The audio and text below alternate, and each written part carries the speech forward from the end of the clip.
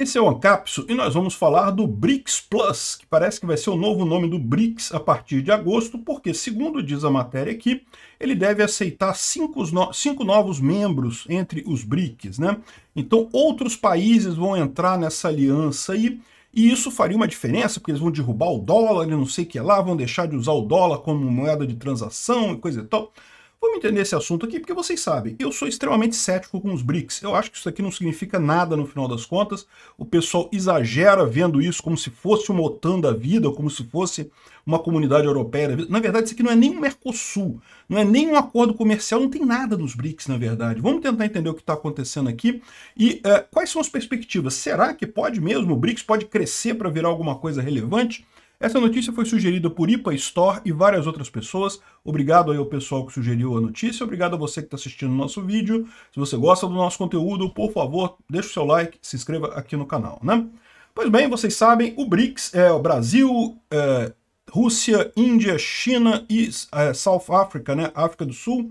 São os países que essa, coisa começou com um artigo escrito por um economista inglês, falando desses grandes países que tinham um peso muito grande na economia e coisa e tal, e o pessoal resolveu unir e fazer um seguinte acordo. Olha só, nosso acordo, o que, que, é, o, o que, que é o acordo do BRICS? O BRICS não tem é, é, tarifa comum, não tem esse negócio de ajudar a exportação do outro, não tem moeda comum, não tem, na verdade, não tem nada ali no BRICS. Né? O BRICS ele é um acordo para cada dois anos os países do BRICS se reunirem em um desses países, então o próximo encontro vai ser agora, em agosto, na África do Sul, e, uh, e ali eles podem fazer acordos bilaterais entre eles. Então é isso, não tem nenhum acordo que abranja o bloco, né?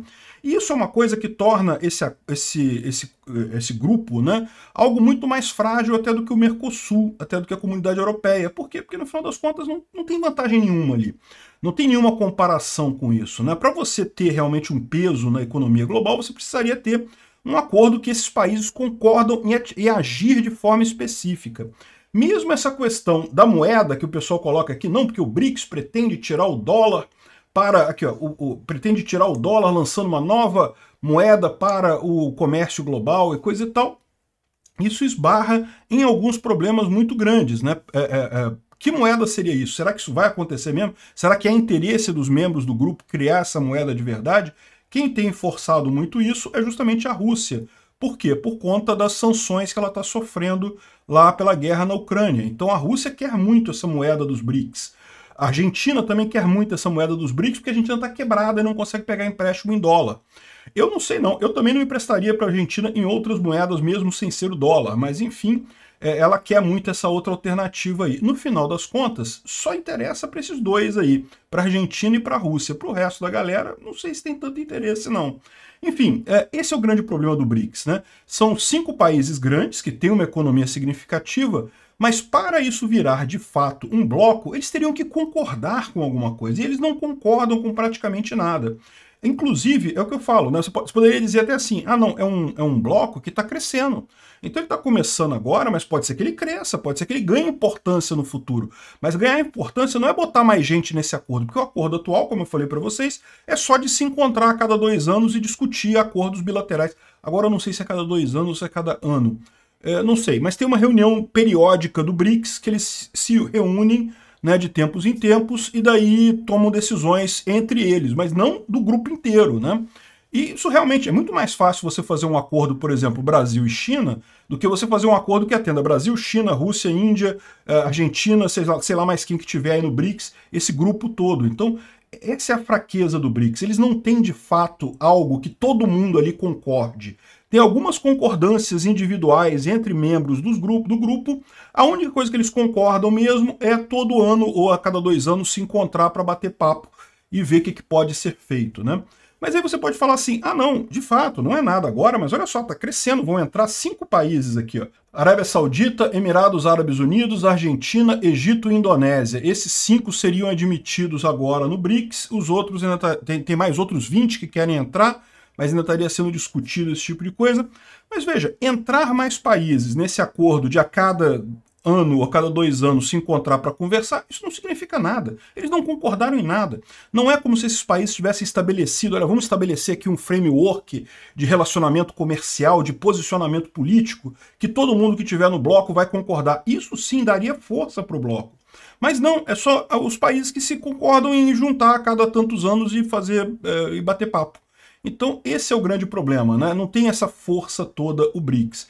E, mas você pode dizer, não, isso agora é pequeno, mas eles vão fazer, mais para frente eles vão fechar um acordo de tarifa comercial ou de moeda comum, né? Pode ser que feche um acordo e aí sim a coisa vai começar a ter um impacto geopolítico. Só que não, é impossível esse tipo de coisa. Por quê? Porque as economias desses países que fazem parte do BRICS, algumas são até é, com, complementares entre si, mas a maioria é concorrente. Por exemplo, o Brasil e a Rússia são altamente concorrentes. A gente tem muito minério, tem muita riqueza mineral, então a gente concorre diretamente com a Rússia. É muito difícil achar um ponto que o Brasil se beneficie de um acordo comercial com a Rússia, por exemplo. Tem algumas coisas que a gente pode fazer acordo? Tem, mas nunca vai ter um, uma, uma ampla gama para fazer isso. Com a China, o Brasil é mais complementar. Pode ser que a gente consiga. Mas com a Índia, pronto, já deu problema de novo. A parte da agricultura já é uma coisa forte nos dois lados. Então você tem de novo dificuldade de fechar acordo. Enfim, são economias que não têm essa complementariedade, como é o caso, por exemplo, do NAFTA, lá na, na comunidade, no, na América do Norte, da Europa, lá na, da, da União Europeia na Europa, esse tipo de coisa, né? Enfim, uh, outro problema que você tem nesse, nesse grupo também é o seguinte, você tem muitos ditadores, e ditador é uma coisa difícil de você fazer um acordo, por quê? Porque o povo não está necessariamente vendido nessa ideia, quem está vendido na ideia é o ditador, o ditador decide. E o que, que é o problema disso? O problema é que um dia você pode mudar esse ditador, e quando esse ditador mudar, quem garante que ele vai estar tá no grupo de novo, né?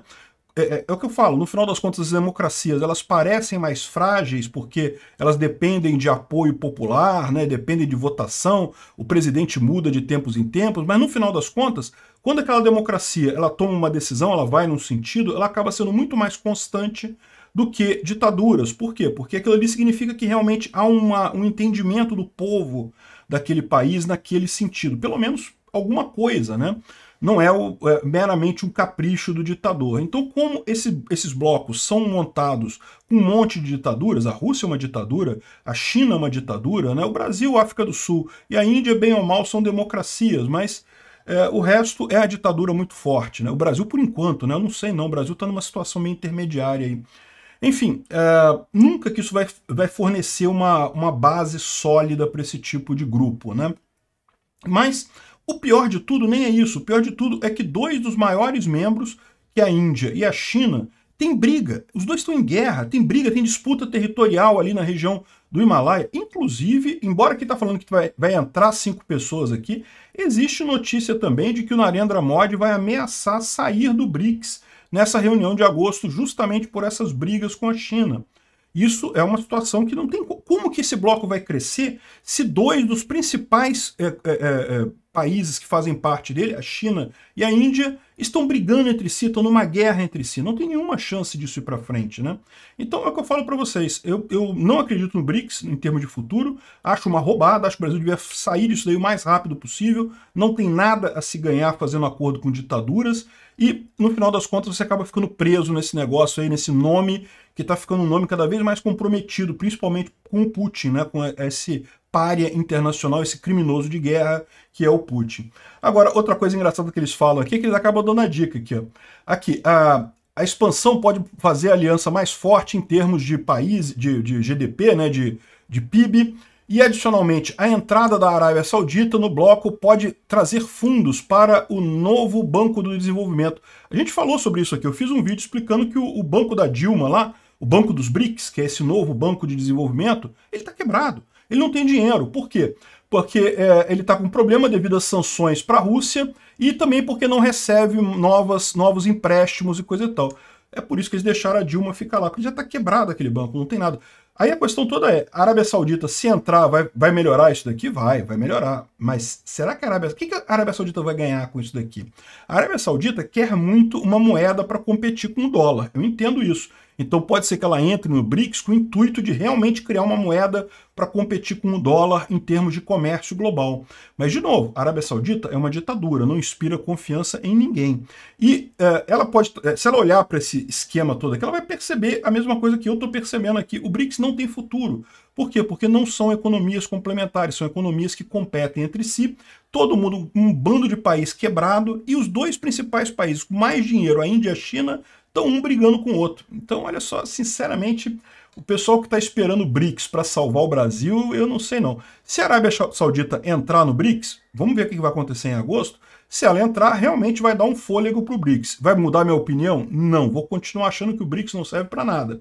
Mas certamente vai ter uma sobrevida aí. Agora, se a Arábia Saudita nem isso fizer, nem entrar no BRICS, olha, você pode saber, o BRICS está com os anos contados. Obrigado por assistir o vídeo até o final.